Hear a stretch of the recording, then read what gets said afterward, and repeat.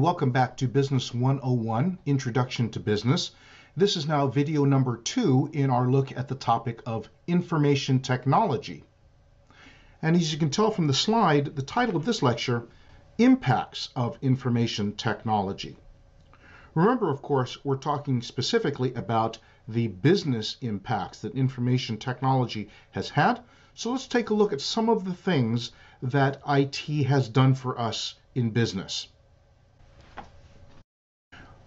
I think it helps if we look at some of the primary categories before we get to specific examples of impacts that IT has had on the business world.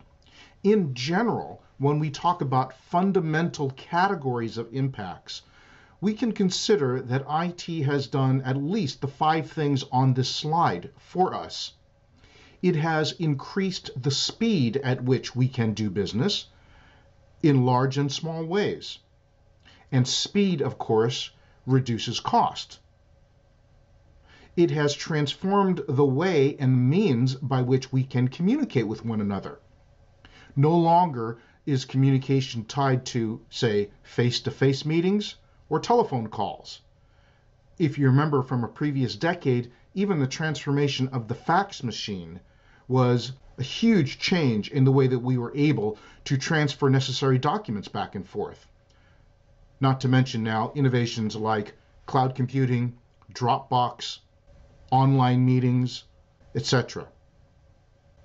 One of the fundamental impacts of IT, number three, it has shortened distance, or at least it has shortened the perception of distance, so that now things that would have been unimaginable in another decade are very, very possible and a normal part of business, having widely dispersed work teams collaborating together, despite the fact that members live, work, and exist on different continents in the world, things that would have been completely unable to pull off in a previous time apart from the advent of necessary technology. It has enabled us to trade across international borders, across continental borders, in ways that would have been impossible apart from vast expenses on shipping.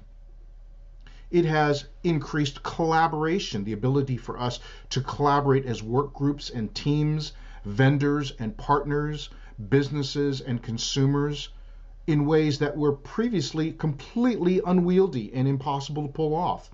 And all of those things have increased the options and the flexibility we have in business.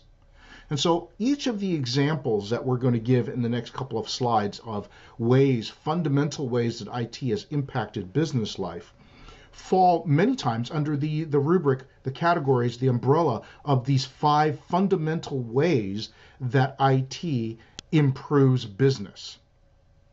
For example, IT has created the ability to work remotely and therefore creating portable or movable offices, giving us greater mobility to do business not only in our office, in our office buildings, but from our home office, from a coffee shop, from a library, from a sailboat, from all sorts of ways that were completely unable to be thought of as business places in a previous life. IT has enabled better service to consumers and customers. Customers now have multiple ways to get instant contact with a vendor, whether it be email, through the web, as well as coordinating remote deliveries for us to be able to provide service like tracking information on a minute by minute basis when my delivery is going to show up and where it's going to show up. IT has created leaner, more efficient organizations, allowing more work and customer satisfaction to be accomplished with fewer people. Realize that, for instance, even in factory farming in some places in the United States, what used to require a farming staff of hundreds of people is now accomplished faster and more efficiently with less error by one person and a whole bunch of technology powering location, efficiency, monitoring, all of those kinds of things. IT has enabled increased collaboration through IT communication devices, through asynchronous communication. Asynchronous referring, of course, to contact that is made at a particular point of time that the recipient can then choose to access when they have the time. And that runs everything from recorded video lectures like this to the ubiquitous example of email that I type up at 2 o'clock in the morning and you read at 8 o'clock in the morning when you get into the office, all those kinds of things. Other examples. IT has enabled global exchange, the ability to have trade partners and vendor partners and consumers and customers in other countries, completely dependent upon IT and yet still delivering an enormous value in terms of level of service. IT has improved our management processes. An example there, using ERP software to change the nature of the management process, having better control, having greater insight and analysis, all brought to us because of the vast power of information technology and increasingly so, the increasing power of artificial intelligence. IT has also provided flexibility for customization, creating new manufacturing capabilities that offer customers greater variety and greater choice alongside faster delivery cycles. Other examples. Information technology provides brand new business opportunities that never existed before. For instance, we have always had drivers with cars who don't have anywhere to go, and therefore the capacity of the car is left unused while the car sits in the driveway.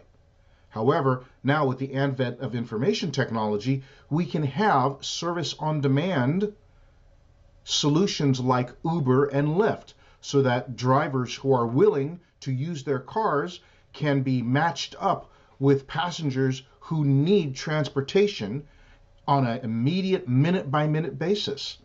A solution that would be completely impossible to pull off apart from the internet and interconnected technology.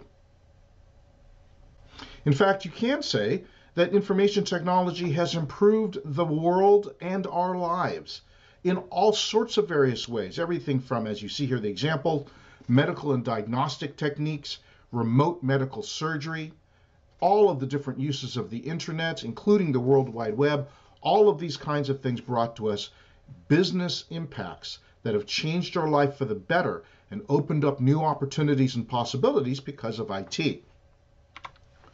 An example from the textbook here is this diagram attempting to show what mass customization can look like in diagram fashion. Perhaps an easier explanation is by showing you the way that mass customization can work in everyday consumer commerce. And right here you see an example. This is, of course, the Apple website. And if I was in the market to purchase a new computer, let's give you an example of what mass customization looks like. By simply clicking on the Mac tab, it brings me to all the various computing devices that are currently offered here by Apple.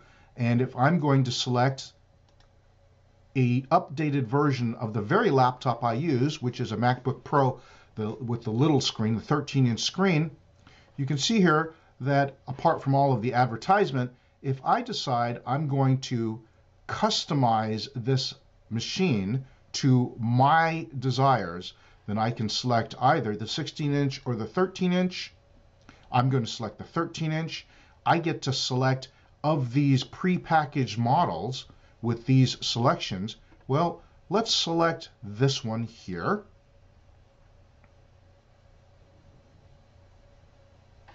And from here, I could say, well, wait a minute, I'm not sure that I want this color. So is there a way for me to change the color? Yeah, I can go back.